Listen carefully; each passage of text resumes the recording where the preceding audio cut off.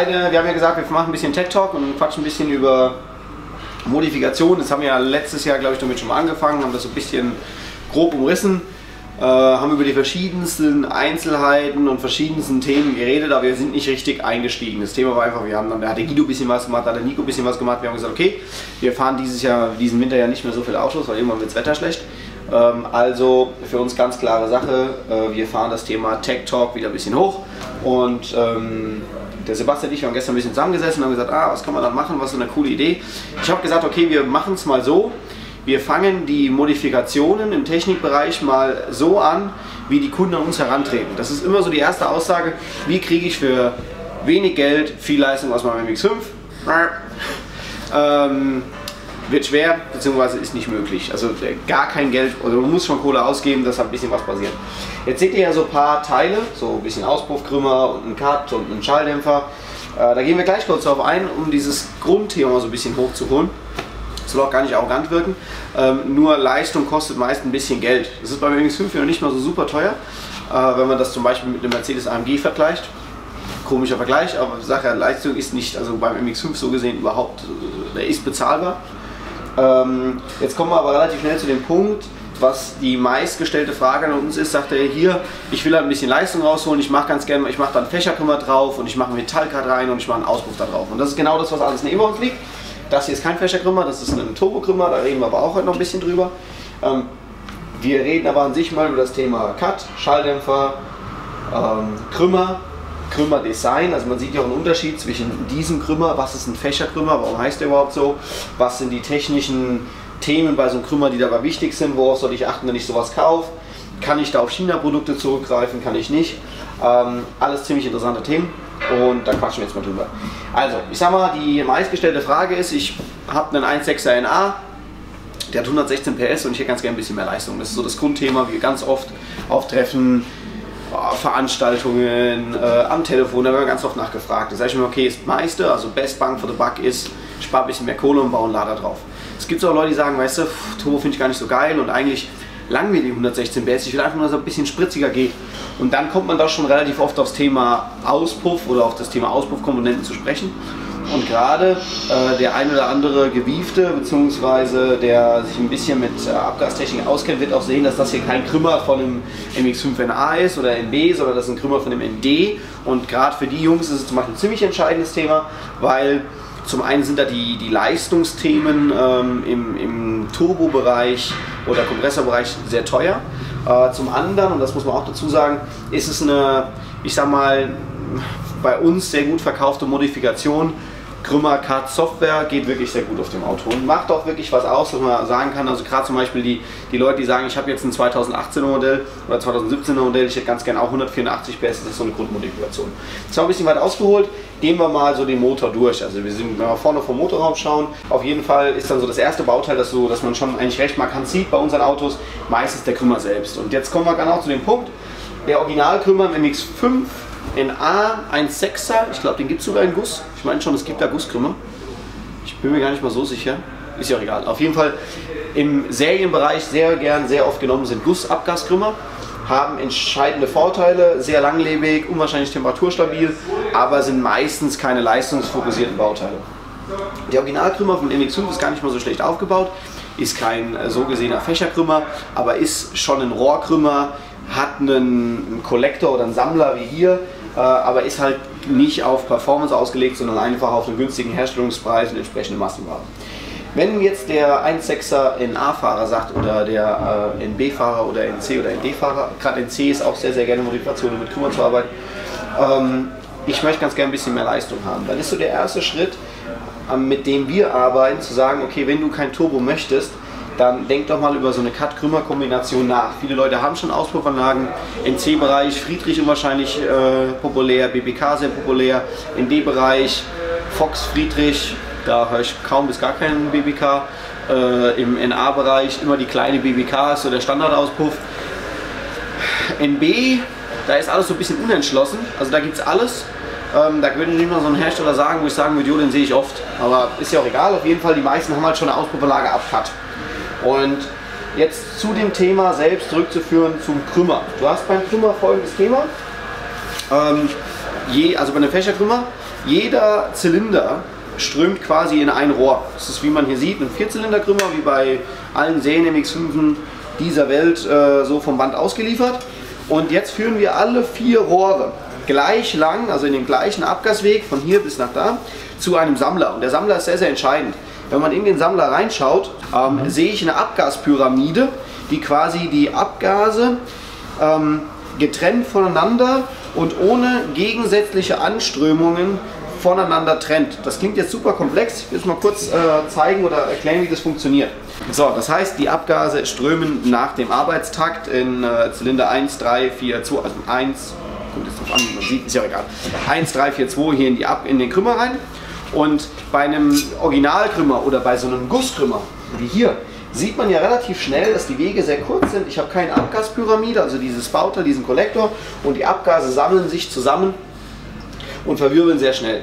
Dabei entsteht folgendes Problem, dass die Abgase vom ersten Zylinder den dritten Zylinder beeinflussen, vielleicht auch den vierten, vielleicht auch den zweiten Zylinder und wir so quasi eine sehr hohe Rest, ich sag mal Reststoffmasse bzw. Restgasmasse wieder zurückfließt in den Krümmer, dadurch wir eine schlechtere Füllung bekommen und wir den Motor quasi nicht mit so viel Sauerstoff bzw. Ähm, ja, ich sag mal Gemisch gefüllt bekommen. Das war jetzt recht kompliziert.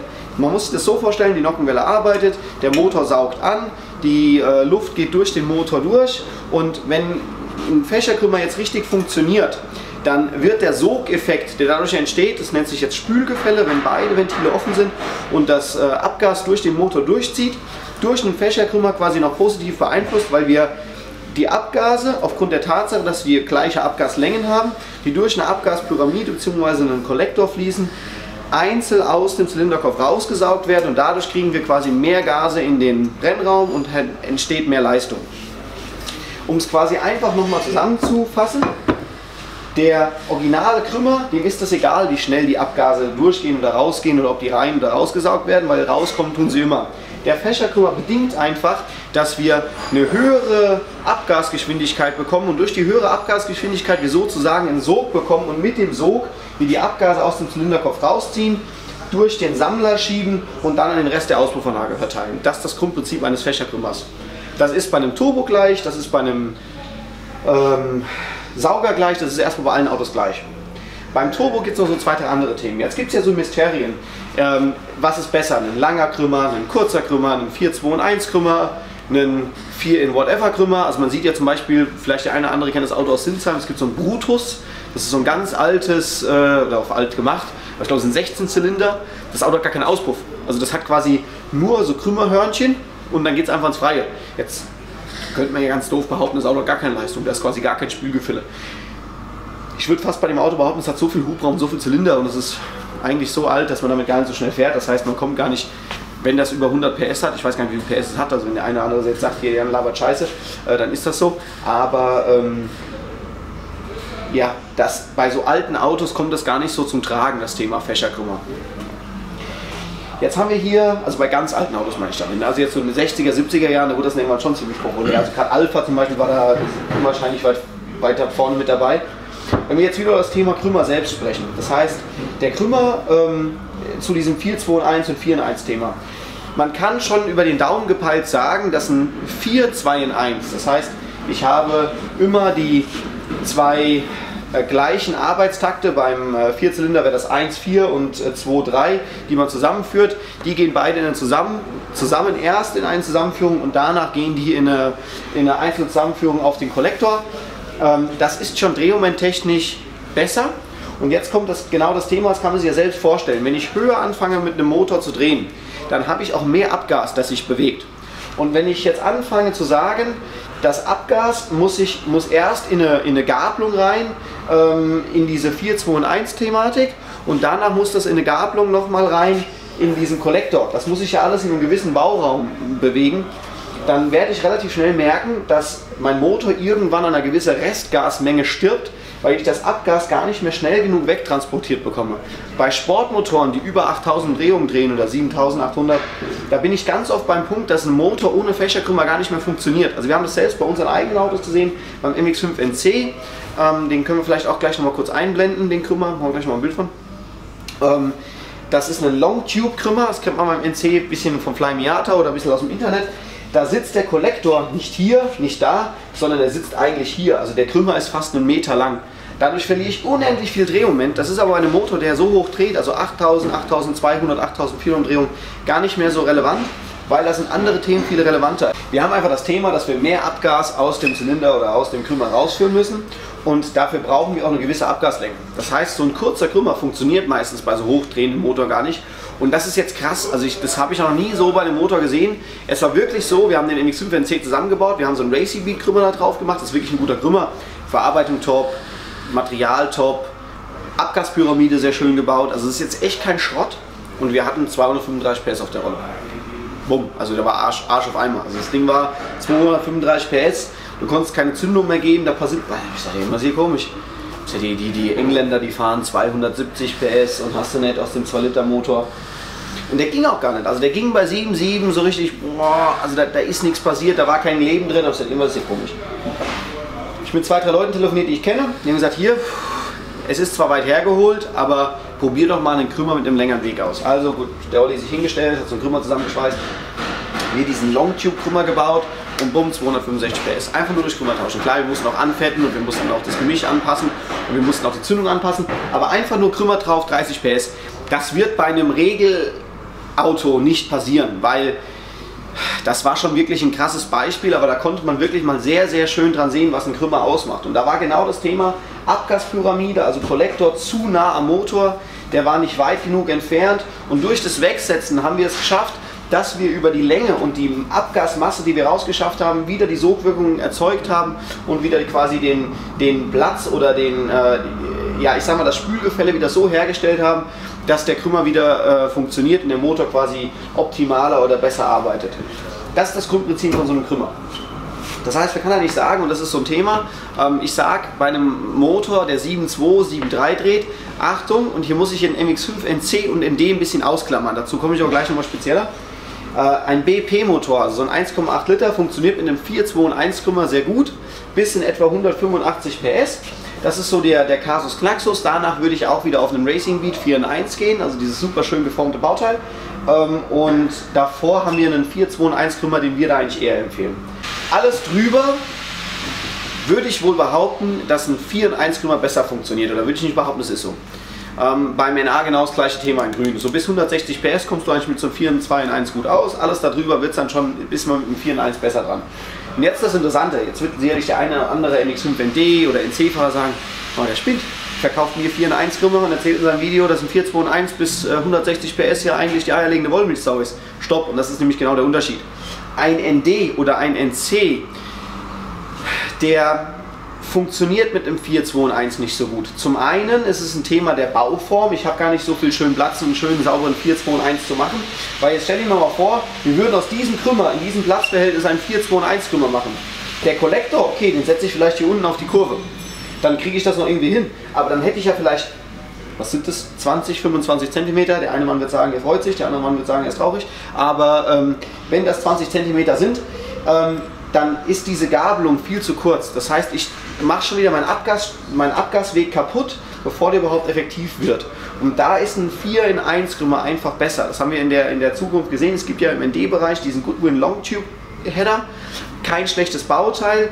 Die massiven Leistung Gains, die, oder Leistungsgains, die äh, Goodwin gesehen hat, konnten wir nicht sehen. Wir haben gesehen, dass der Krümmer an sich ein bisschen mehr Spitzenleistung bringt, aber unten raus ein bisschen müder ist. Ähm, belegbar alles nicht so wirklich. Äh, deswegen würde ich wohl behaupten, ist in meinen Augen der ganz normale 4 in 1 der optimale Krümmer. Ähm, und funktioniert wirklich gut. Auf dem NC sowohl als auch auf dem ND. Und auch eigentlich, ich sag mal, auf dem NA und auch auf dem NB. Also Im Regelfall bist du bei den Autos mit einem 4 in 1 gut bedient, außer wenn wir dir wirklich sagen können, wir sehen in deinem Setup einen Vorteil mit 4, 2 und 1. Und das ist 99% nur beim 1.6er NA oder 1.6er NB möglich. Ähm, beim 1.6er und beim 1.8er NA ist es halt so, dass der Abgasweg viel, viel, viel, viel länger ist. Das heißt, dass wir auch mehr, mehr Platz haben, das sauber zu bauen. Und das ist das Hauptthema, warum das beim NC nicht so sauber funktioniert. Man könnte sicher im NC-ND-Bereich, wenn man da entsprechende Entwicklungen reinsteckt, auch mit einem 4, 2 und 1 arbeiten. Aber ähm, fragt uns, was ihr für ein Setup fährt, dann können wir eigentlich, für euer Produkt euch das passende Thema empfehlen. Ich kann sagen NC 4 in 1, ND 4 in 1 aufgrund der Platzverhältnisse. Äh, NA 99% fährst du auch da gut mit einem 4 in 1. Ähm, wenn du etwas drehst, sonst auch 4, 2 in 1 und beim NB eigentlich genauso. Also es, ähm, fast alle Motoren, die wir ausliefern, kommt also ein bisschen auf das Setup drauf an, aber ich würde wohl behaupten, wenn der Motor original von der Drehzahl ist, ein Original hochdreht, kommst du mit einem 4, 2 in 1 beim NA, NB wunderbar hin. Äh, alles drüber sind dann auch schon Themen, wo Nockenwellen ins Spiel kommen und da würde ich vielleicht eher auf ein 4 in 1 gehen. Wie gesagt, NC Bauer-Thema und auch ND bis 4 in 1 gut dabei. Ich hoffe, dass wir das Thema ein bisschen näher gebracht haben. Jetzt seht ihr noch zwei, drei andere Bauteile. Ähm, das Thema schließen wir hinten gleich an. Das ist sicherlich gleich das andere Thema. Äh, bezüglich Turbomotoren, da ist das ein bisschen anders und da gibt es auch noch zwei, drei andere Faktoren, die da mit reinspielen. Sprechen wir an sich mal beim Cut. Jeder äh, im Internet sagt, ja, wenn du viel Leistung fährst, brauchst du einen Metallcut. Das ist auch grundlegend erstmal richtig, aber jetzt ist die große Frage, weil es gibt ja auch da draußen Mercedes AMG mit 500 PS oder 600 oder 400 PS, ähm, die haben weitaus weniger wie nämlich 5 NA und die fahren 99% auch Keramikcuts. Warum nutzt so ein Serienhersteller kein Metallcut, äh, sondern arbeitet mit einem Keramikcut? Es gibt gewisse Themen, die so ein Keramikcut einfach besser kann. Das heißt, zum einen ist er schneller warm, zum anderen ist die Kapazität des Cuts selbst viel, viel, viel, ich sag mal, effektiver und so ein Metallcut muss halt angeheizt werden. Die Firma Porsche macht das, die nutzen Metallcuts auch in der Serie, die heizen die extern an, damit die relativ schnell auf Temperatur kommen, um die Emissionsthemen zu halten. Ähm, und so ein Metallcut hat halt zu einem Keramikcut einen entscheidenden Vorteil, der ist luftdurchlässiger. Und alles, was ihr im Internet lest, und das ist so ein Punkt, das kann ich wirklich ausschließen, jeder, der euch sagt, ein Vierzylindermotor braucht Rückstau, das ist Bullshit. Also es tut mir wirklich sehr leid, aber das stimmt nicht. Es gibt keinen Motor, der mit einem Cut effektiver läuft wie ohne. Jeder, der da draußen was erzählt, dass er sagt, ich merke, wenn ich einen Cut rein tue oder Cut raus tue, im Unterschied, dass er mit Cut besser läuft wie ohne Cut. Pustekuchen. Das können wir gerne auf einem Prüfstand belegen. Ein Vierzylinder-Motor ist ein rückstaufreier Motor. Beim Zweitakter, bei einem Mankel ist die Welt da ein bisschen anders, das weiß ich. Bei einem Mankel kann ich leider nicht so viel von Erfahrung sprechen. Wir machen das nur für uns. Und äh, das ist für mich, da ist sicherlich äh, der Marius vom, von Japanwerk oder der Olli vom Wankelshop der bessere Ansprechpartner. Die machen viel Wankel. Ähm, das ist ein ganz anderes Thema. Also dieses, ähm, aber im Bereich von einem Vierzylindermotor ist es so, kein weniger Abgussgegendruck heißt Leistung. Und jetzt kommen wir ganz schnell zu dem Punkt, ähm, welchen Durchmesser braucht man denn auf einem Motor? Da gibt es eine ganz gute Faustformel. Pro Liter Hubraum 1 Zoll. Das heißt, bei einem 1,6 Liter Motor könnte ich sagen 1,6 Zoll oder sonst was. Ich sage da immer, bei so einem 1,6er bist du mit 55 mm gut dabei. Bei einem 1,8er, der wird aufgerundet auf 2 Liter. 60 mm Anlage passt. Kennt auch jeder früher noch von Friedrich Motorsport, auch immer 60 mm Cobar. Ist genau das Thema. 200 Liter, 2,5 Zoll, 60 mm, das tut sich am Ende des Tages nicht mehr viel. Das ist so eine Faustformel. Ähm, und das passt eigentlich auch ganz gut, was diese Faustformel äh, aussagt. Bei dem MX5 bist du eigentlich ich sag mal, bis 250 PS mit einer 2,5 Zoll Anlage immer bedient. Das ist eine Anlage, die kaufst du einmal für dann einen Sechser. Da ist sie vielleicht ein bisschen groß. Was passiert, wenn die Auspuffanlage zu groß ist? Ich habe einen etwas langsamen Abgasfluss. Das heißt, der, die Abgase strömen aus dem, dem, dem Krümmer hier raus. In das hier ist dann schon 60. In das 60er Rohr kommen hier vorne in den Cut. Und in dem Cut passiert folgendes. Wenn du jetzt dann Keramik-Cut hast, dann bremst du die Abgase so krass ab, dass die sich quasi noch verlangsamen, noch verlangsamen, noch verlangsamen. Und wenn dann die Auspuffanlage danach noch am besten 3 Zoll ist, dann kommen die Auspuffer Abgase, die Abgase so langsam daraus, dass du gar nach gar kein Spülgefälle mehr hast. Da kann es dir sogar sein, dass durch die zu große Auspuffanlage, nicht weil der Motor dann rückstaufrei oder weil er dann rückstaufreier läuft, sondern einfach weil du keine Abgasgeschwindigkeit mehr hast, sich wieder hinterm Cut Abgase sammeln und der Motor quasi dann Leistung verliert. So, sind wir ein bisschen ausgeschwichen noch auf das Thema Endschau oder Auspuffanlage selbst. Wir haben auch nicht ganz so viel über den Cut selbst gesprochen. Das ist ein HJS-Cut, das sind meiner Meinung nach die besten Cuts, die man aktuell für Geld in Deutschland kaufen kann. Ähm, relativ simples Thema. Du hast hier vorne die Cut-Matrize. Ähm, der, in der Cut-Matrize, also dieses 200 Zellen, 400 Zellen, 100 Zellen Cut, meistens, wenn man da hinschaut, sieht das irgendwie alles gleich aus. Du hast da mitten so einen, so einen Stahlstift, da ist die Matrize dran aufgehangen und hast außenrum dieses Stahlgewebe. 100 Zellen, 200 Zellen, 400 Zellen, ich glaube, dann hört es auch auf. Das ist die, beschreibt die Ladung der einzelnen Zellen. Das heißt, desto höher die Zellenanzahl, desto höher ist die Ladung des Cuts. Meistens kann man halt bei unseren heutigen Fahrzeugen unter 200 Zellen Cuts gar nicht mehr arbeiten. Da müssen die schon sehr, sehr gut beschichtet sein. Das zu diesem Mysterium, wie viel Zellen man fährt. Unsere Cuts sind 99,9% 200 Zeller, die wir verbauen. Ähm, ja, kommen wir wie gesagt wieder zum Thema zurück zur Auspuffanlage. Hier hört man ja auch, was hast du für einen Schalldämpfer verbaut. Ähm, wenn du einen Kammerschalldämpfer hast, dann bringt der Leistungsverlust. Auch hier, ihr habt eben gehört, was ich über den Krümmer gesagt habe. Spülgefälle, die Luft geht hier schneller durch, das saugt sich dadurch quasi schneller aus dem Zylinder rauf. Wir haben hier eine sehr, sehr hohe Abgasgeschwindigkeit. Die Luft geht hier durch eine Metallcut.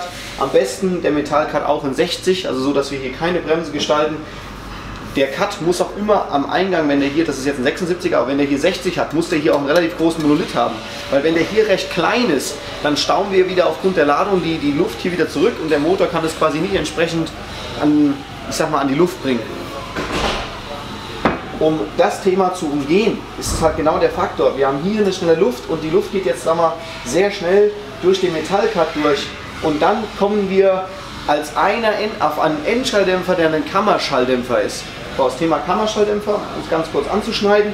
Es gibt Absorberschalldämpfer, das ist sowas, da kann man quasi durchgucken und ich kann am Ende des Tages immer noch, der macht quasi den Schall weg, weil der Schall findet sich in der, in der, in der Box. Nicht, dass wir jetzt hier irgendwelche Worte durcheinander wirbeln. Ähm, in der Box und wir haben keinen Rückstau. Wenn du eine Kammer hier drin hast, kann man hier nicht durchgucken, sondern du hast hier quasi wie so Kammern, wo der Schall durch muss. So ein Kammerschalldämpfer nutzt viel, viel, viel mehr ähm, oder schluckt viel, viel, viel mehr Geräusch. Ein Absorptionsschalldämpfer schluckt meistens nicht so viel Geräusch, deswegen braucht man davon entweder mehr oder man braucht davon andere Schalldämpfertypen. Hier gibt es ein ganz schönes Prinzip, das ist ein Helmholtz-Schalldämpfer, der, wenn man jetzt hier reinschaut, ähm, wir haben leider gerade keine Helmholtz da, sonst hätte ich es gerade gezeigt, das ist einfach nur ein Siebrohr und das Siebrohr ähm, absorbiert so gesehen die Lautstärke. Der Helmholtz-Schalldämpfer der ist, hat an dem Siebrohr entlang wie so kleine Baggerschaufeln und fängt nochmal zusätzlich den Schall auf und leitet ihn quasi in die Kammer rein. Dadurch habe ich einen relativ geringen, der äußere Teil des Abgases wird gebremst, klar, weil er geht in die Schaufel rein, aber der innere Teil des Abgases bleibt immer noch schön schnell und ich nehme relativ viel Geräusch weg mit einer recht geringen Änderung des Abgasgegendrucks. Ähm, deswegen sieht man mittlerweile sehr viele Helmholtz-Schalldämpfersysteme, auch ja, bei, bei unseren Auspuffanlagen bei zwei, also wir haben äh, unsere Turboanlagen, ist der Vorstelldämpfer Helmholtz, um einfach mit Geräusch hinzukommen. Ähm, das zum Thema. Alle unsere Auspuffanlagen sind auch alle Absorber. Also wir haben gar keine Anlage, die nicht auf dem Absorberprinzip funktioniert. Beim neuen Swift ist die Abgasführung ein bisschen weird. Das heißt, wir gehen so rein und kommen jetzt da hinten wieder raus. Jetzt sagt ja jeder, Bullshit, der erzählt da wieder Mist. Äh, wir haben hier äh, drei Kammern und die Luft geht hier einfach so durch und das Stimmt so nicht. Die Luft geht quasi in einem gesiebten Rohr einmal durch den Schalldämpfer durch und wird dann wieder quasi rausgeführt. Auch hier kein Unterschied des ähm, Abgasgegendrucks oder wenig. Jetzt kommen wir zu diesem interessanten Punkt, dass ich sage, bringt ein Absorberschalldämpfer zu einem Kammerschalldämpfer einen Leistungsgewinn oder der Kammerschalldämpfer einen Leistungsverlust. Die meisten Serienschalldämpfer ähm, sind, sind Kammerschalldämpfer, weil die einfach von der, von, der, von der Entwicklung her simpler sind und weil man sich weniger, ich sag mal, ähm, Dämmwolle und sowas, und das brauchst du einfach nicht so viel. Der Grund aber, beziehungsweise das Thema ist, bringt der Kammerschalldämpfer zum Absorberschalldämpfer einen Leistungsverlust oder bringt der, ich sag mal, Absorberschalldämpfer zum Kammerschalldämpfer einen Leistungsgewinn?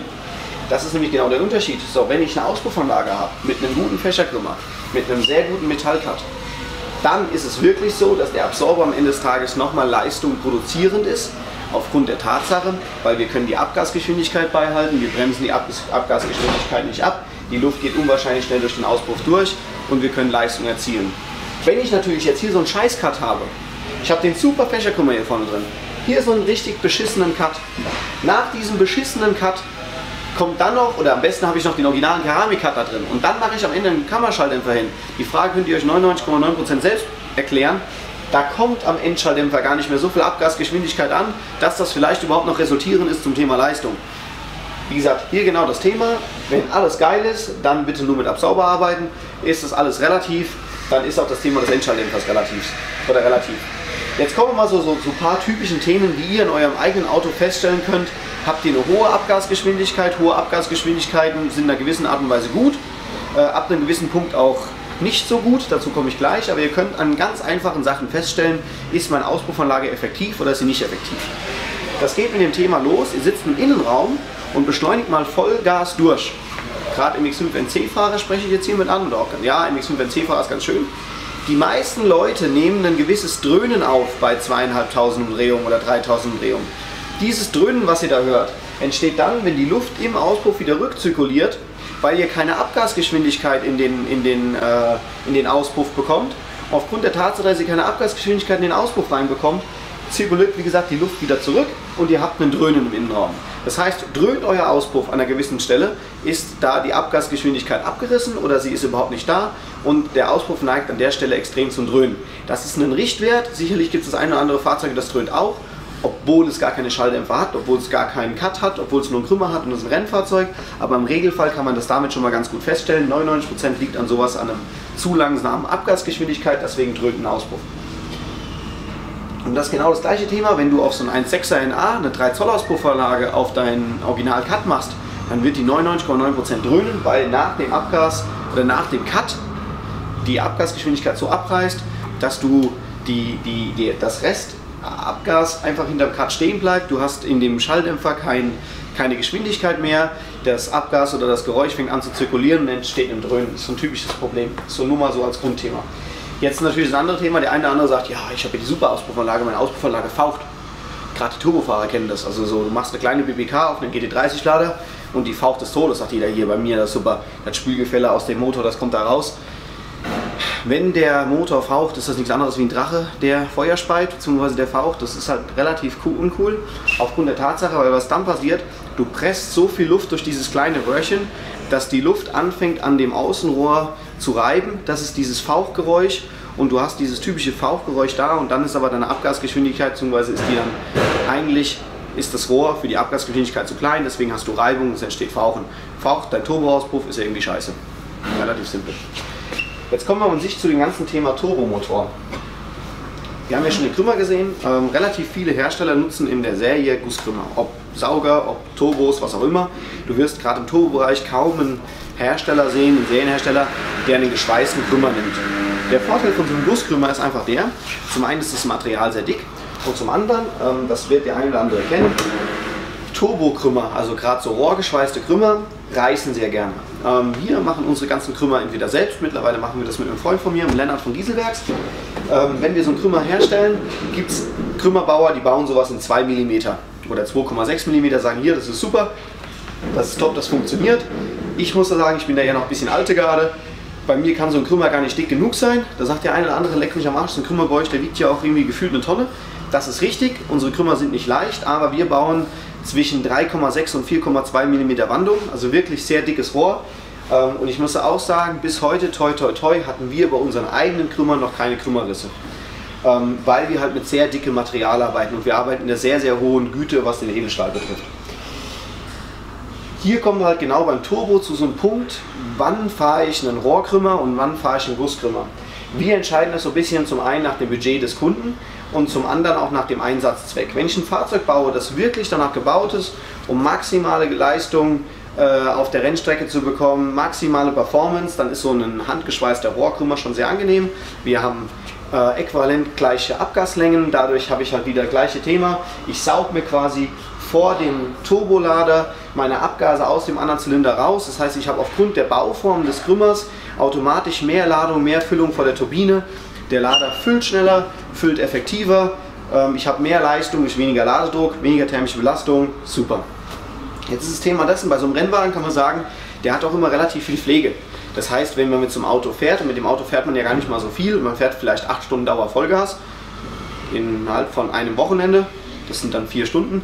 Ähm, da wird das Auto aber ganz sorgsam warm laufen gelassen, dann geht es raus auf die Rennstrecke, macht seine Turns, kommt wieder rein, wird wieder ab, kalt gefahren, wird dann wieder kalt laufen gelassen und dann kommt es weg.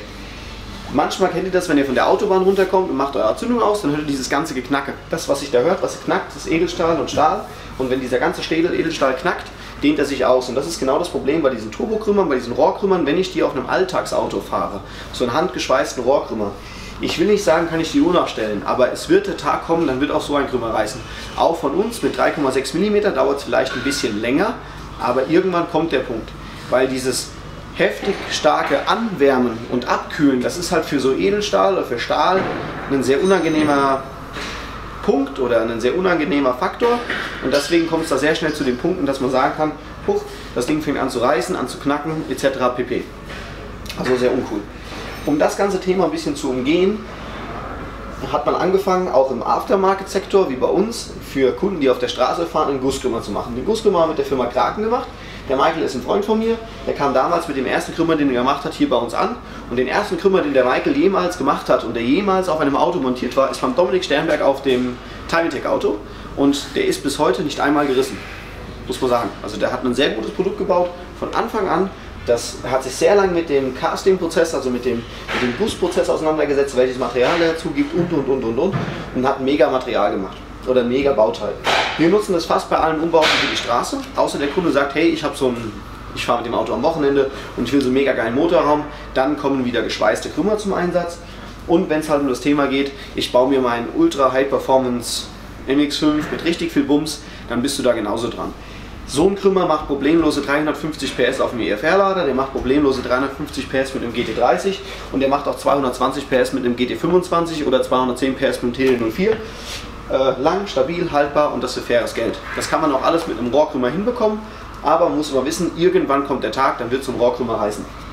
Und hier bei so einer Auspuffanlage gibt es so eine magische Zahl. Ich sage immer, bei 250 PS kommst du mit der 2,5 Zoll Auspuffanlage problemlos hin, ohne dass der Motor anfängt zu fauchen, ohne dass wir einen zu hohen Abgasgegendruck haben. Und das ist genau der Faktor. Ein Turbomotor, da muss man noch mehr darauf achten, dass der Abgasgegendruck frei läuft weil Turbolader wird sonst beansprucht, Abgastemperatur geht hoch, das heißt meine ganze Thermik wird schlechter durch eine schlechtere Auspuffanlage und das sind so Punkte, deswegen sagen wir, wenn ihr als Kunden gerne möchtet äh, und, und sagt, ja, ich überlege mir, ich baue gerade meine MX5 auf Turbo um, ähm, was könnt ihr mir für einen Krümmer empfehlen? Dann kriegt ihr meistens von uns diesen Krümmer empfohlen. Dann sagt ihr, ah, ich hätte ganz gerne so einen Übergangslader, weil ich will vielleicht nächsten Winter einen Motor schmieden. Äh, dann geht ihr bitte hin und macht, äh, nehmen wir 99% euch oder empfehlen euch zu einem GT2860. Mit dem GT2860 ähm, hat man zwei Vorteile. Zum einen kann man den auf dem Serienmotor fahren und man kann sagen, wenn du den Motor geschmiedet hast, kannst du mehr Ladedruck fahren. Jetzt kommt noch meistens die nächste Frage. Ja, wenn ich jetzt schon dabei bin, Geld auszugeben, dann hätte ich ganz gerne noch eine komplette 3 Zoll Auspuffanlage mit dabei. Hier kommt dann genauso ein HJS-Cut zum Einsatz und dann kommen danach zwei Absorberschalldämpfer zum Einsatz. Jetzt haben wir aber folgendes Problem. Du machst auf deinen Serienmotor, der nicht mehr wie 0,6, na, mit einem GT28 nicht mehr wie 0,6 und mit einem GT25 nicht mehr wie 0,7 Bar Ladedruck dauerhaft halten kann, eine 3 Zoll Auspuffanlage. Und das ist so ein Punkt, da widerspreche ich jetzt ganz kurz dem, was ich vorher gesagt habe.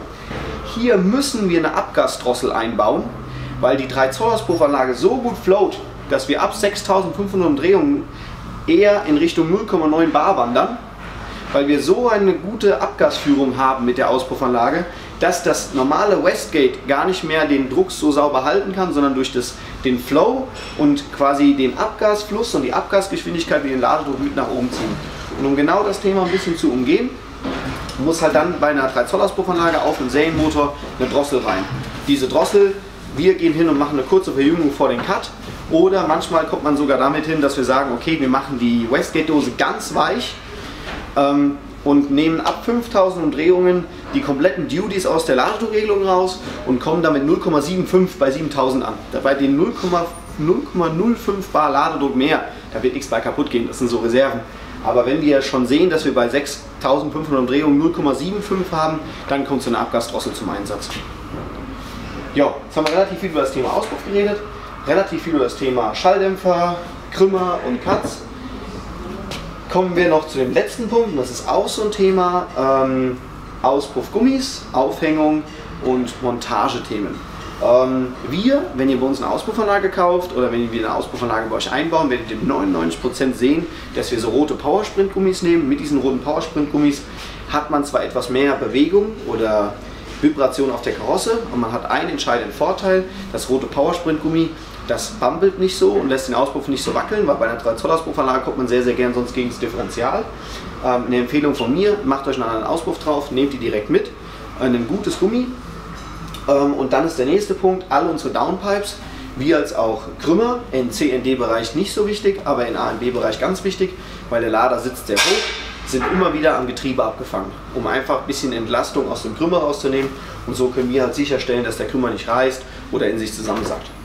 Wenn ihr jetzt irgendwelche Fragen noch weiter zum Thema Abgastechnik habt, schreibt uns, fragt uns. Ich hoffe, wir konnten ein bisschen Licht ins Dunkel bringen. Sehr, sehr intensives Video, sehr lang, aber ich denke mal für den einen oder anderen ganz interessant.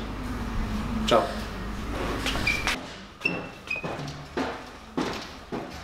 Sind wir live? Wir sind live. Wir sind schon live. Ich habe sogar Zuschauer heute. Na dann. Genau. Hello, Keno. Obi-Wan